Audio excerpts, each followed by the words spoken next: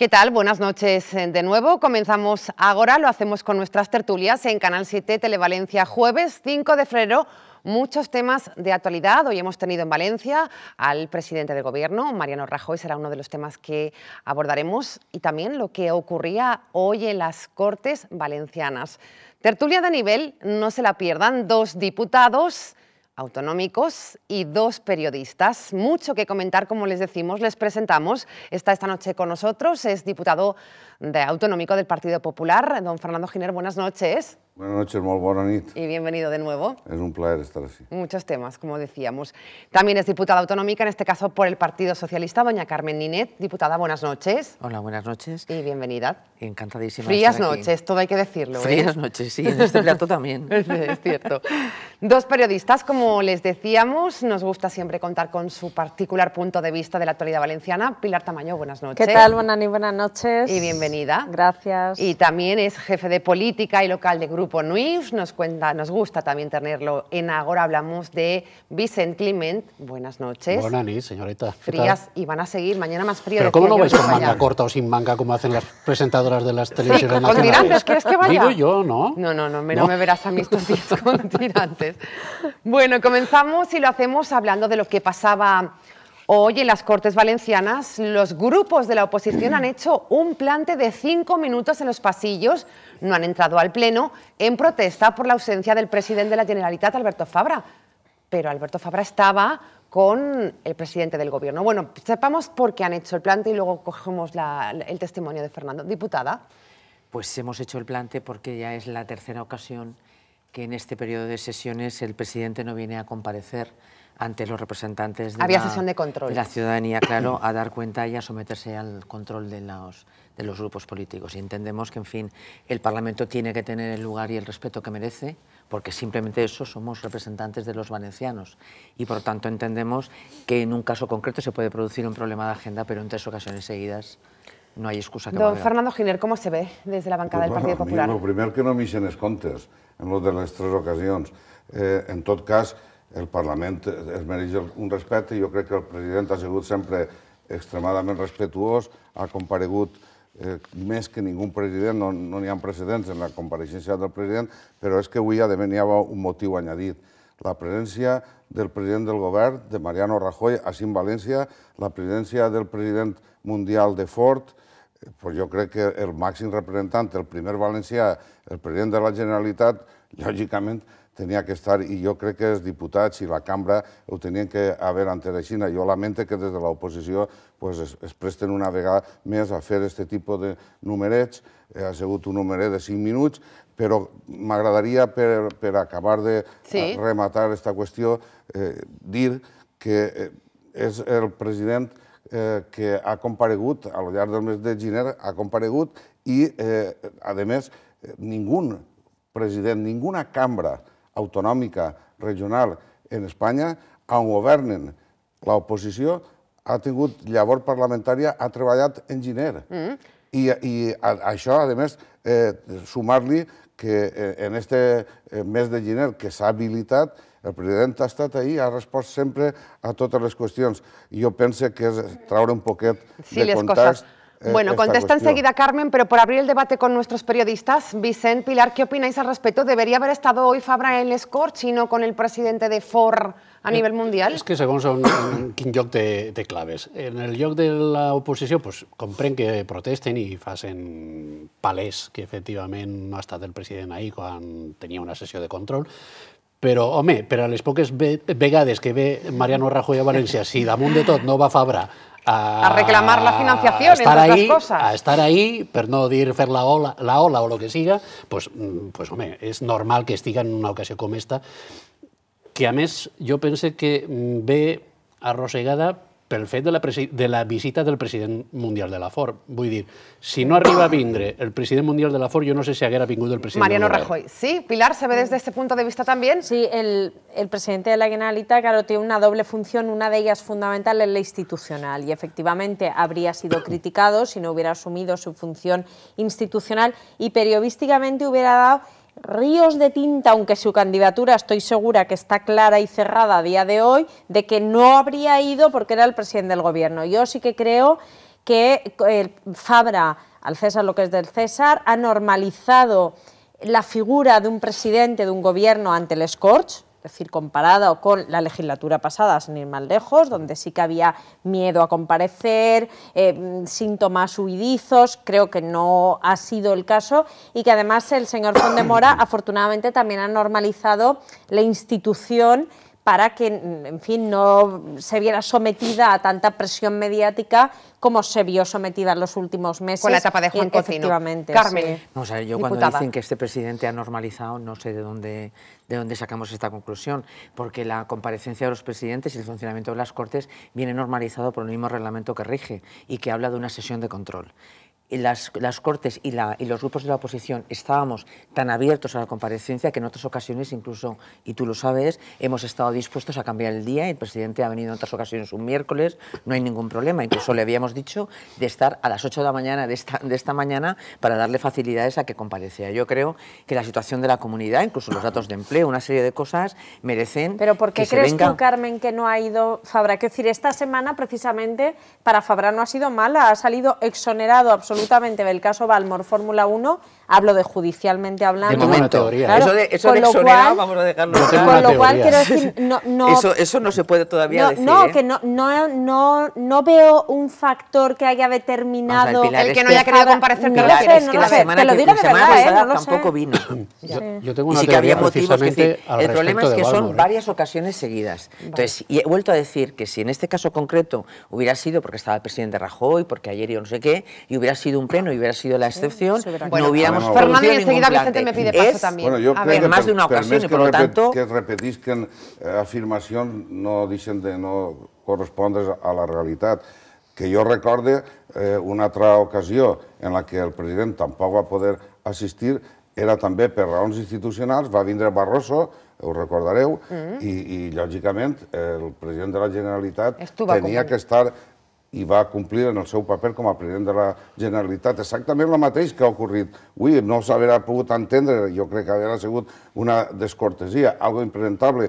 Jo crec que, que treure això del context pues Però, no Fernando, és acertat. no és per poner, però si ve Barroso i ve el un con- dia- I el contesta tu, i el Sí. contesta tu. Sí. El recorde que si ara n'hi ha compareixences del president de la Generalitat una volta cada eh, plenari, no? cada eh, eh, sessió de, de, de, de, de dijousos, pues és precisament perquè el Partit Popular governant va estar d'acord en que es modificara el reglament i que es permetira ixa presència i, per lo tant, per, per part del Partit Popular, l'únic que s'ha fet introduint ixa possibilitat eh, és no ficar ninguna todos tot los Contesta Carmen y abrimos con Vicente. Tenías una teoría Sí. sobre Balmor. A ver, cuéntame esa Una teoría sobre por qué- En torno a, lo No, ocurrido hoy. Carmen planteaba la, la posibilidad de que se hubiera modificado el calendario para permitir la sesión de control. Yo creo, yo creo que habida cuenta de que hoy venía Mariano Rajoy, de que Mariano Rajoy hoy, si no antes, le iba a confirmar a Fabra que va a ser el candidato, aunque no lo digan oficialmente hasta el 16,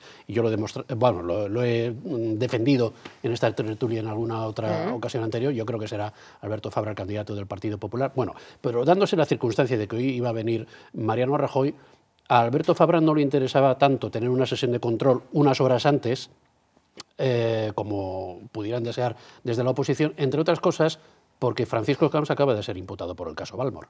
Entonces, seguro que aunque no estuviera pre- previsto en las preguntas, el tema iba a salir en... Y no convenía hoy sacar y- este y tema. aunque Alberto Fabra mm, eh, se caracteriza porque suele contestar eh, a casi todo, A incluido, eso me refiero incluido cuando a los digo que ha periodistas, normalizado, incluido a los sí. periodistas, con mejor o peor acierto, pero suele contestar Sí. a casi todo. No creo que eso le importara demasiado, excepto por el ruido, el ruido mediático que se pudiera organizar Bueno, con ese asunto en las Cortes. de fet, la realitat és que avui en les Corts s'ha parlat del tema Balmor. Pero hasta sense estar el president... Bueno, bé, però és que el president, D'abans. per raons institucionals, era evident Sí, també- que, que també tenia que estar on ha estat. Però se podia jo modificar crec, el jo calendari. crec que, que l'oposició pues, eh, en aquest sentit s'equivoca, perquè personalment crec que en aquesta ocasió, com en altres, en les que també s'ha abandonat l'hemicicle, pues és un error, perquè jo crec que, que el lloc on hi ha que parlar són les Corts i abandonar aquest foro d'expressar les opinions sempre és erroni, sempre és una equivocació de Yo de- termino, con este tema porque estoy convencida Sí, de que no vamos a llegar a la misma conclusión. Lo único que digo es que recuerdes que cuando vino Barroso no vino y cuando al pleno siguiente tenía que ir a la toma de posesión, según él, del nuevo alcalde de, Alicante, se cambió la comparecencia al miércoles. Eh, lo, que hay que hacer es, de alguna manera, seguir una, una estrategia objetiva y, lineal. Mm. No es depende de, la conveniencia yo creo. de la agenda. Para unas veces sí, para otras veces no. Que ya está. Sin más, eh? Ya està. Vale, sense més, però jo tinc que dir algo que, que és evident. No a... En tota la legislatura, el president no ha deixat de compareixer i de contestar no a totes i a, absolutament a totes les qüestions, excepció feta de dos de la presencia de Barroso por coincidencia de, de, aparte de que sea, aparte de que sea una cosa meramente testimonial que la mm. oposición se haya plantado hoy durante cinco minutos sí es cierto lo que dice Fernando la cámara está para hablar y, la para dialogar. pero no solo la oposición también algunos diputados absentistas de la otra bancada. Ya bueno pues lo dejamos ahí esta puntualización. Por, cierto ejemplo, esperábamos esperábamos sí, pero en el teu grupo parlamentario también hi ha que no, no. per el tuyo, Pilar eh? Tamayo pero no, pongamos nombres, ¿eh? No, no, no, no, no fiquen nombres. Yo he hablado de A ver, decía yo que Pilar Tamayo, hoy esperábamos ese titular. Rajoy ratifica finalmente a Fabra, lo esperábamos periodísticamente, pero no se ha producido, ¿no? Lo que no significa que Fabra no sea el candidato del Partido Popular a la ¿Y por qué no se dice ya esto? Yo estoy convencida que el asunto viene de Madrid, que decir, lo sostengo hace tiempo. En Madrid eh, pues hay un problema que es Esperanza que de todos es sabido que no, tiene, no despierta las simpatías o no tiene sintonía con el presidente del gobierno, mm. que a la vez es su presidente de partido. Ahí habrá cálculos electorales, la liberesa se estará moviendo intensamente para mm, que sea ella la candidata y es posible que lo sea, no sé si, porque no creo que saquen a Soraya del gobierno en este momento y creo que eso es lo que está atrasando la nominación de candidaturas a nivel nacional y también Hoy hay algún medio de comunicación escrito en el que hacen una especie de, no, no, es un decálogo, sería un pentálogo en todo caso, porque creo que eran cinco razones por las cuales Esperanza Aguirre sí va a ser la candidata, aunque todavía hay algunas dudas. Me explico. El que tiene las principales dudas sobre Esperanza Aguirre, por lo visto, no es Mariano Rajoy, sino Pedro Arriola.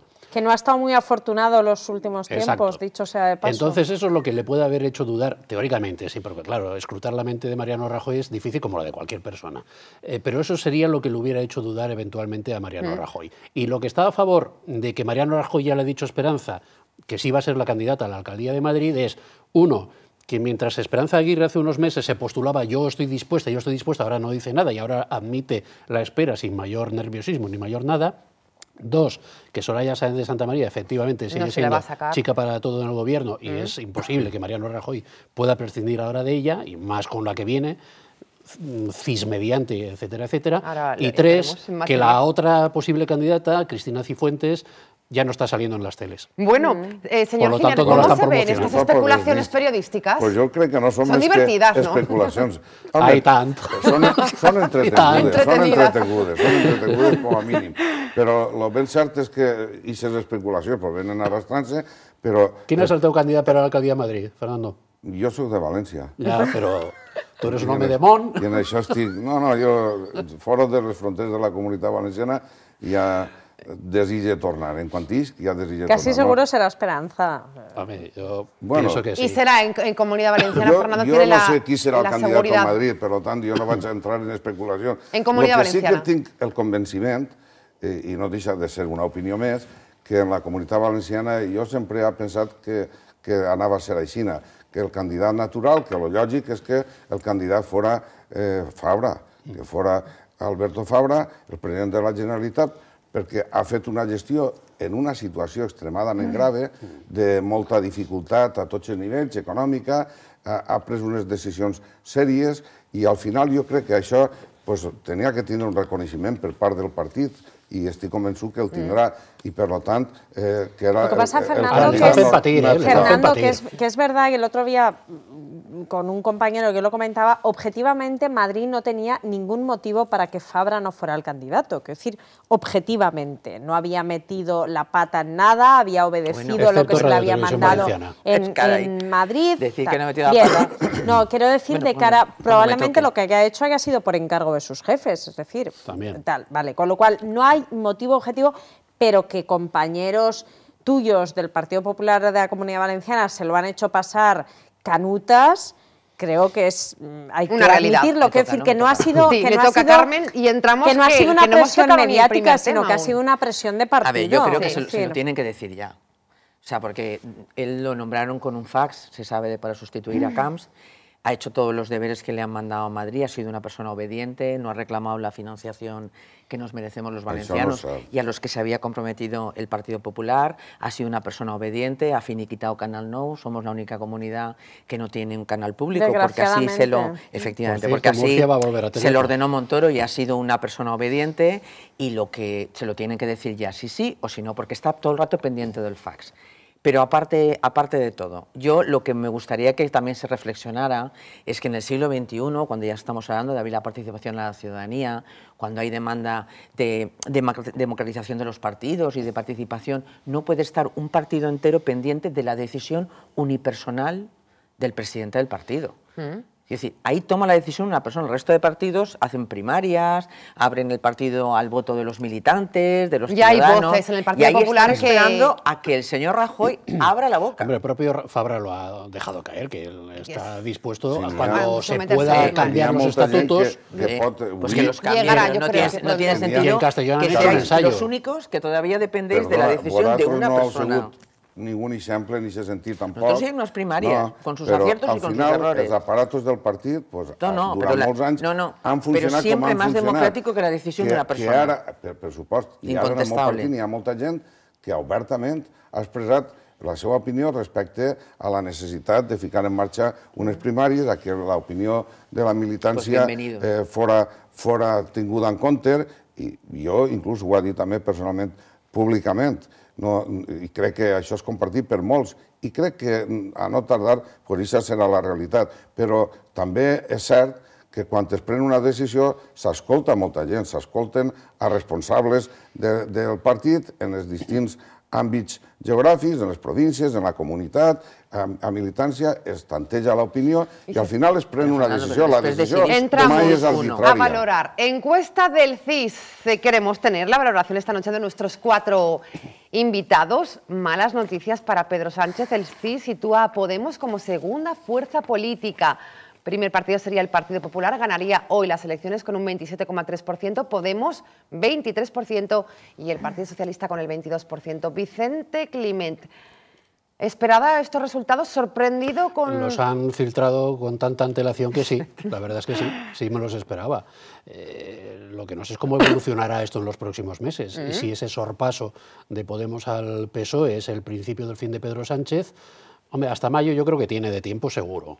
Eh, a partir de mayo... Veremos qué pasa. Pues vamos a ver, porque claro, están primero las elecciones andaluzas en donde todo parece indicar que Susana Díaz va a demostrar que está por encima de la marca PSOE. Su propia marca personal eh, va a ser Y más esto puede efectiva. Pero Susana, ¿no? Susana Díaz no va holgada en Andalucía hasta el punto que las encuestas del fin de semana ya confirmaban que está obligada a coaligar o con Podemos Pero o con el Podemos no Partido tiene- Popular pero Podemos- para- hoy en día pero Podemos no tiene candidato. Ha desaparecido aspira a una ya. mayoría absoluta. Pero- eso Pero Podemos decir- no tiene candidato y decir- quien se perfila como. Sí. candidata es precisamente de la cuerda Ya. contraria a Pablo Iglesias, con lo Sí, cual no le van a hacer la campaña y menos en dos meses los porque no tienen resultados del infraestructura. CIS o de todas las encuestas que son insistentes, es decir, todas las encuestas van en la misma dirección, yo creo que no son responsabilidad imputable a Pedro Sánchez y lo digo sinceramente, Ah, es decir, eh, esto es imputable al señor Zapatero, a- es decir, el- el- el- los españoles estamos castigando la gestión de quienes han gobernado durante los años de la crisis económica,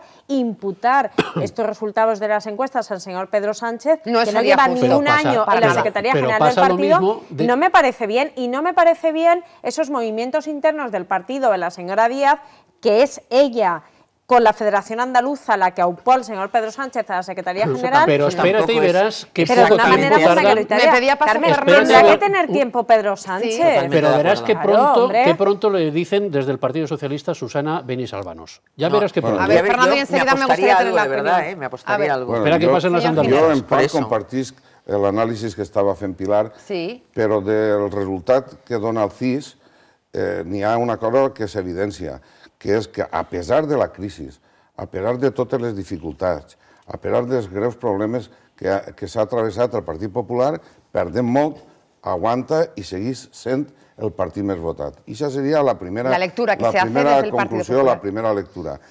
És cert que en la línia de lo que deia Pilar, el Partit Socialista Obrer Espanyol sofreix una, una forta eh, debacle, un castig, i això és aixecable a molts factors. Eh, estan entre ells, doncs, eh, la gent no ha oblidat el test de, de Zapatero, eh, no ha oblidat eh, tot, tota aquesta crisi que ens va portar quasi al borde de l'abisme, la gent això no ho ha acabat d'oblidar i castiga. Però jo, a, a rengló seguit, dit que jo desitge, i ho dic de tot cor, que el Partit Socialista puga remuntar i tinga un molt millor resultat.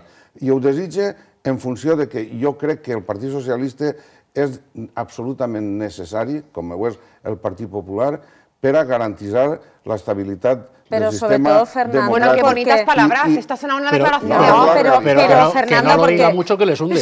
No, pero que el- no lo diga el- mucho que le- Yo sé que lo piensa. No, jo ho penso. Ja ho sé que Sí, sí. les sí, puede no unir este argumento. sino A ver, que quiero escuchar a el Carmen. I crec que això és, és el que és, al meu criteri, bo per Espanya. Però és que per vamos a que ver, crec la que és bo encu- per la- Espanya, la encuesta- Eh, jo manifeste en tota llibertat que m'agradaria que milloraren resultats. Porque la encuesta del CIS, I jo Fernando, pense, a rengló es- seguit, que, que l'encuesta A del ver si CIS te- te pues, bueno, marca Carmen. unes tendències No, i, crec, sí. i crec que eh, n'hi ha molt de vot ocult en el, en el cas del Partit Popular i crec que molts de, que votaren en el seu dia el Partit Popular reflexionaran sobre quina és la situació real en este moment d'Espanya i, en la comunitat És que valenciana la encuesta també, del i que Fernando, això farà que Bueno, molta es- gent... ahora es sí le pido que me dejéis que hable coses, Carmen. i coses ¿eh? com lo de l'educació concertada també li afegiran molts vots Vale. al Partit Ara, Popular. diputada, veuràs, tiene usted la Ara palabra. després aplegarem D'això a podem l'educació parlar també. concertada. Diputada. Anem a veure. Punto de vista. Pueden hacer una, una lectura partidaria y yo decir, bueno, esto hay mucho voto oculto, el PSOE, esto vamos a barrer, pero vamos a ser...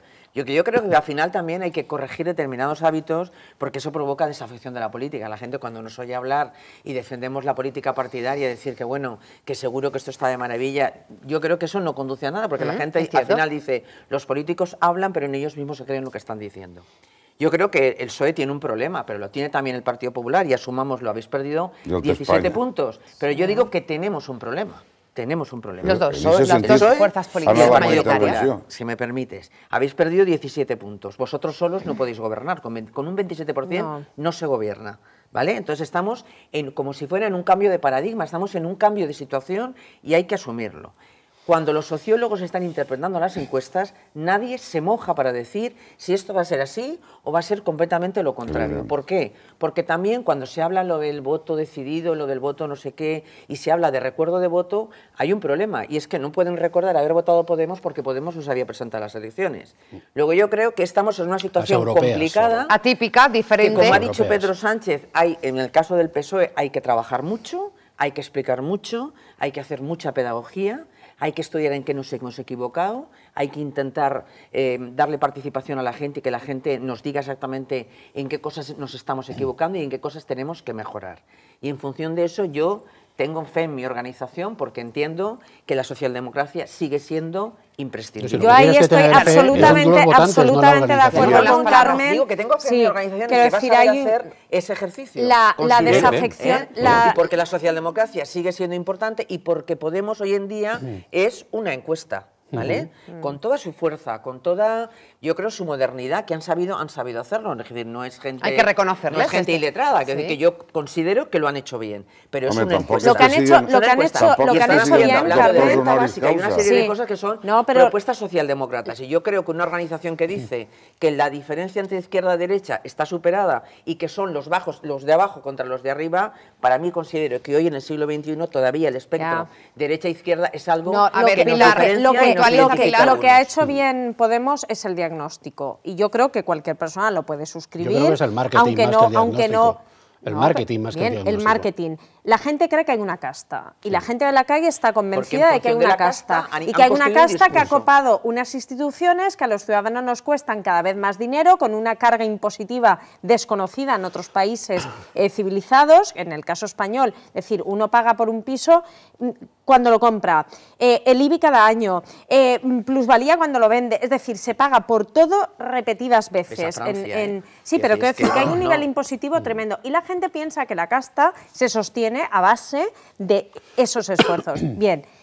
eh, la encuesta del CIS dibuja, y eso era lo que quería decir, dibuja un panorama estremecedor para el PP y para el PSOE, dibuja un panorama desconocido en la vida democrática No española. estremecedor, desconocido, diferente, distinto. Les aboca un pacto. No, pero estremece, o sea no, que- me refiero, pacto, me refiero, Carmen, efectivamente. No, ¿eh? Les no aboca un pacto. vale. toda la A frase aboca- Yo sé que tú no puedes decirlo en público, No, no, pero no, no no, no aboca- decir no. aboca- Jamás, nunca, jamás. Ya. No, eso no, se ya. puede decir en Ya, política, Carmen, no. Carmen. En política en no se puede decir nunca, donde no. el PSOE ha pactado con la derecha, en, en Alemania, con la Gran Coalición, en, en Grecia, al final Sí, os es que la gente... ya. No, no, pero no porque nos coman, sino porque no, No. tiene sentido. Es Pero, decir, Carmen, yo te si podemos pregunto- gobernar es que Yo- no nos diferencia. Carmen. Y yo tengo Yo creo que es- muchísimas diferencias ideológicas y de construcción del estado de bienestar. Carmen, y de yo te pregunto, sociales Carmen, mucho ant- mucho- Carmen, y muy yo te pregunto. Carmen, llame, Carmen, cuando te llame la Carmen, OTAN, cuando te llame el Carmen, Banco yo te Central, pregunto, cuando te llame la Carmen, Troika el- y el te diga, y te diga, póngase usted A de acuerdo. Póngase usted de acuerdo con Rajoy yo que no te queremos que pregunto, suba Podemos. Carmen, porque además tú eres veterana en política.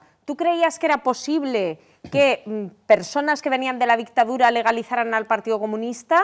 ¿Tú creías que era posible que el Partido Comunista admitiera la monarquía en. España? No, como que no. No tiene nada que España ver. vivía una situación No de extraordinaria, extraordinaria en el momento de la transición y todos los partidos, todos de izquierdas y derechas, hicieron grandísimos esfuerzos por un sentido de Porque hay Estado. una cosa A ver, Fernando, en torno y en al este momento, España vive la una Moncloa, situación pero no gobiernos de... concentración. Los pactos de la Moncloa significan que diferentes fuerzas políticas Sí. de espectro ideológico sí. muy Construyen el Estado, se sientan sí, en una mesa claro. y hacen un periodo constituyente. Sí. Es diferente a lo que estamos diciendo. No se puede gobernar partidos que son de una izquierda y una derecha no pueden gobernar juntos porque tienen propuestas diferentes. Otra cosa es que haya un pacto puntual como el que hemos hecho del pacto antiterrorista. concretos.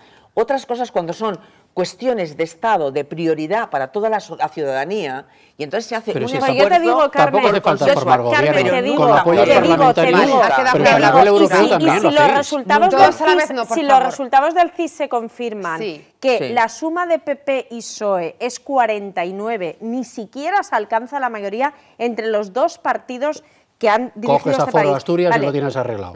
Entonces, Por ejemplo. ¿qué Por hacemos? ejemplo. Señor ¿Qué hacemos? ¿cómo ve? No lo ¿Qué sé. hacemos? Bueno, yo lo No lo La sé. situación de un Claro. posible pacto. Yo no lo sé, Carmen. pero estoy A convencida que el PSOE y el PP no gobernarán juntos. Pues Bueno, yo apoyos parlamentarios, yo- igual. apoyos, con no, no, apoyos y la fuerza votada que gobierne y que por negocie y que, y que consensúe con todo el espectro parlamentario, todo, pero no un gobierno de, de, de Carmen, coalición, ¿no? jo crec que, No? que la teua postura, en tot el carinyo, No, no, resulta contradictòria. convencida contradictòria Un gobierno de concentración en lo sí que no lo- de dir no lo tu. creo. Tu, No lo tu has creo. volgut eh, fa un moment eh, expressar pues, eh, la idea de que eh, la teua organització és una organització socialdemòcrata, però sense no adonar-te'n, al moment, eh, sense donar-te compte, al moment has, eh, has evolucionat a cap a lo que és tradicional històricament i ja creia jo que algo superat en la teva organització, en el Partit Socialista, perquè no es pot mantenir eh, un plantejament dient que s'és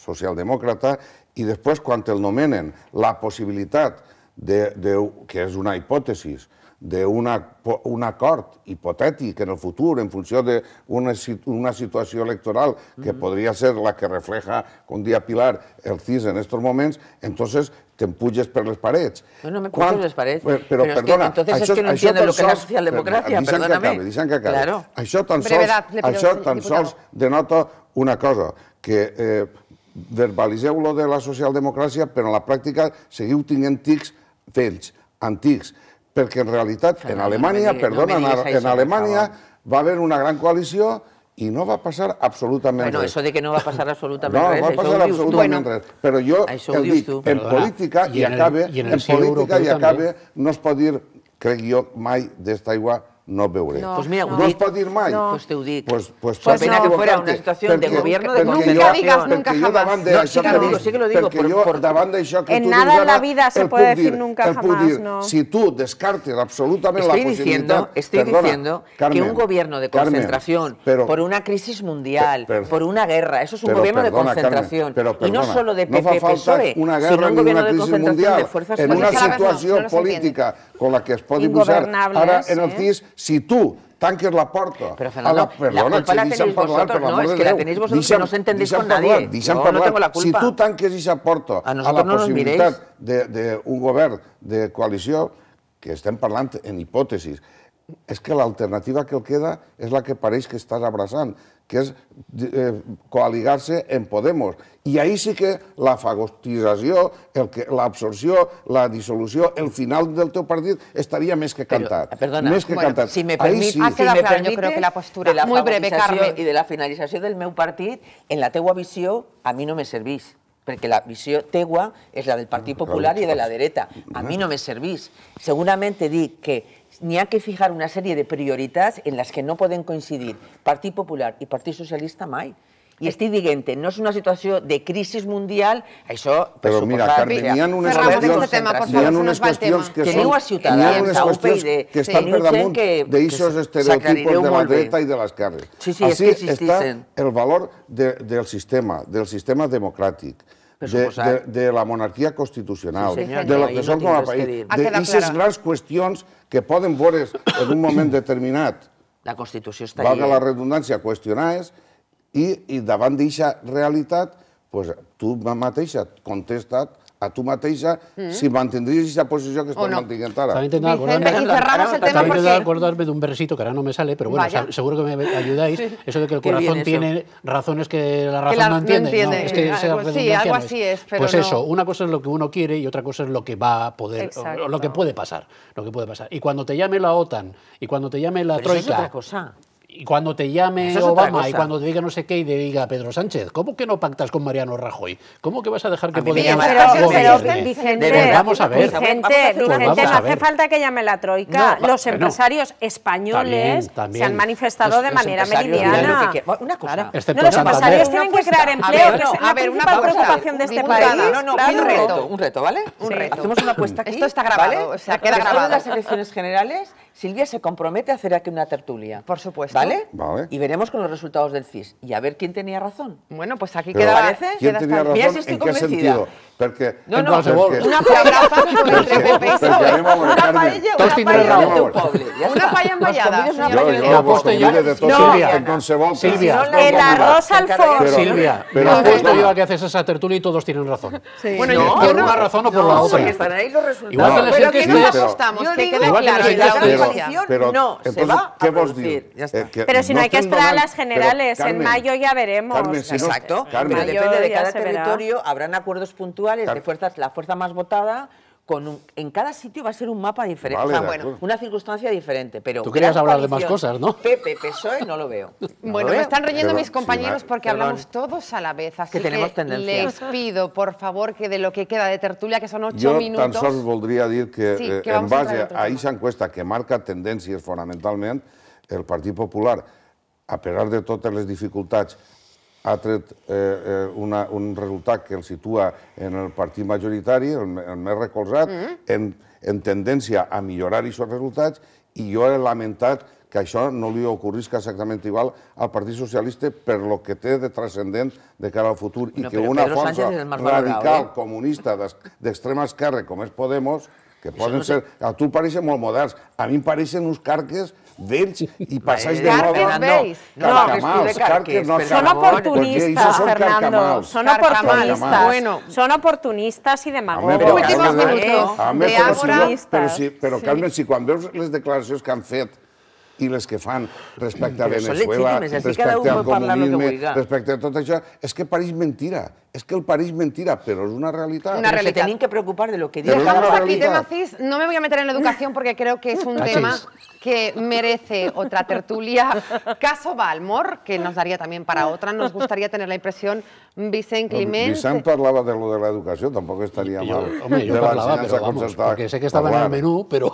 ¿Queréis que, tome- Pero que bueno, toquemos a mí me da educación igual, concertada? mandas, Yo mandas, creo que es un tema mandas. para tratarlo con más Más tiempo, eh, un poquito más. Lo que Y pasa, el, el tema de la educación, solo dirle una cosa, hay una bolsa de votos ahí muy considerable. Son 240.000 alumnos de, de la educación concertada, más mm, casi 20.000 profesores, más todos los eh, amigos, familiares, etcétera, que puedan sentirse afectados por una eventual supresión de los conciertos y por tanto una si bolsa es de que eso votos yo creo que no muy, está- Muy importante, importante. Que yo creo que que está en no- juego y Estamos hablando por situar al no telespectador. juego. Venga, No ya que ha en entrado juego. Vicente con el tema, vamos a seguir. pues tal volta, potser des de te la teva organització política eh, no estigui en joc, no ho sé, ojalà. Jo ¿Cuál es la espero postura que del no, Partido perquè, Socialista en perquè este la sentido? realitat, quan heu governat, heu mantès els Pues concerts. això t'he dit. I Vale. jo ho Això t'he reconec. dit. Sí, Ara, però, lo els, únic- po- però lo els únic, hipotètics Fernando, i potencials si me permite. socios teus, Compromís, Esquerra Unida, esta, mat esta matí mateixa, ahir mateixa, eh, s'han manifestat claríssimament. Estan De en acabar contra con la educación concertada. No defensaré i yo- volen acabar Sí, en no esa defensaré yo educació. a Compromís I y són Esquerra Unida, pero 25.000 tampoco se persones hicina, que ¿eh? directa o directament se sense treball. Han hablado de ir suprimiendo 240.000 los conciertos. alumnes. Otra cosa es un titular de un a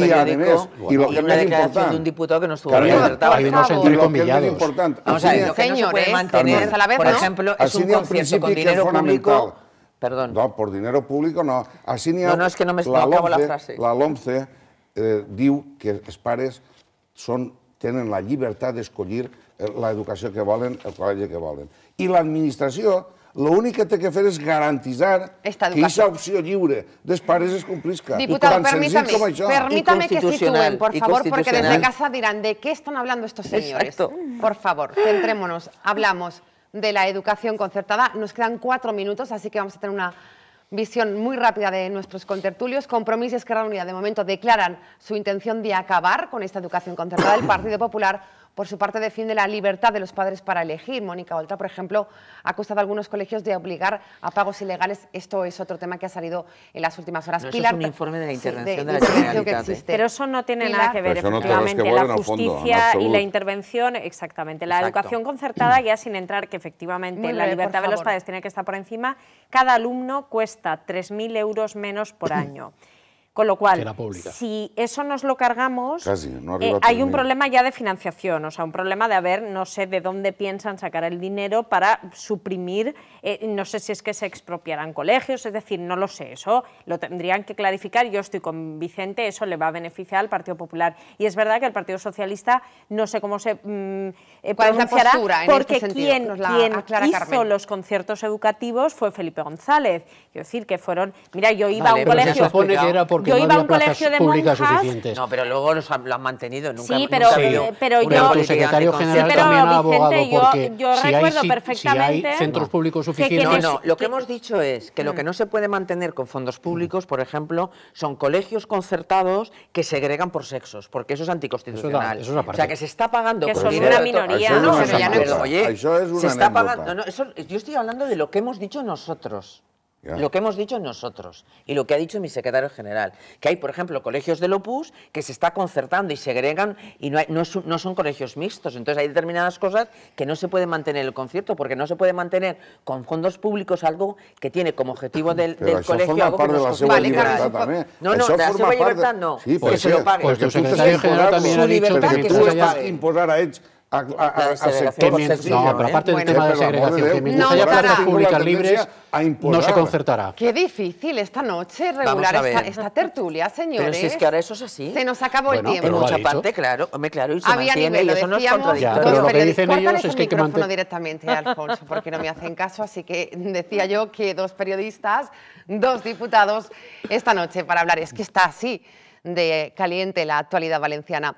Nos vamos y siempre nos gusta pediros, pero eso sí, una palabra, porque nos vamos ya de lo que hemos hablado, muchos temas, del CIS, de lo que ha pasado en las Cortes, de todo el panorama político. Vicente, una frase, Te una admiro palabra. muchísimo porque tiene mucho mérito dirigir tertulias así. Oye, qué bonito. Gracias, Vicente. Buenas noches. Pilar Tamayo, una reflexión. Queda tiempo hasta, hasta mayo para que los resultados del CIS no se extrapolen, pero PP y PSOE tienen la responsabilidad de reaccionar y tomarse en serio estas fotos fijas y no sacar pecho, porque creo que ninguno de los dos está en disposición de sacar pecho. Diputada Carmen Inet. Pues yo, mira, suscribo, hay que tomárselo en serio, hay que trabajar y yo creo que hay esperanza, hay futuro y, por supuesto, pasa por un gobierno socialdemòcrata sin coalició. Sin coalició, senyor diputat. Pues no m'expliqui jo com pot ser aquest govern socialdemòcrata sense coalició, perquè eh, la tendència que tenen els socialdemòcrates, entre cometes, del Partit Socialista, que són tal volta, per desgràcia, mm, tot menys eh, socialdemòcrates, pues no, no veig aquesta solució. Jo el que sí que crec és Muy que bé. és de veres m'ho tinguem que prendre molt en sèrio, però jo crec i confia en la intel·ligència dels ciutadans, de tots els espanyols. I aquesta intel·ligència farà que, que Espanya puga continuar en la senda de creixement, de llibertat, que hem viscut en els últims anys, a pesar de totes les dificultats. Gracias, diputado. el debate no nos hemos acordado del frío. Es verdad, ¿eh? Ya se nos ha pasado. Bueno, queda grabado una paella en Vallada, hemos quedado. Además, Vallada lo perdes, te comí. Hoy la Liana. Hoy la Liana. Tenemos para la Liana no te la perdoné. Nos vamos. Mañana les espero en Noticias Comunidad Valenciana a las 8 y volvemos con más tertulias el próximo lunes. Gracias por estar ahí. Buenas noches. Gracias. Buenas noches a los cuatro.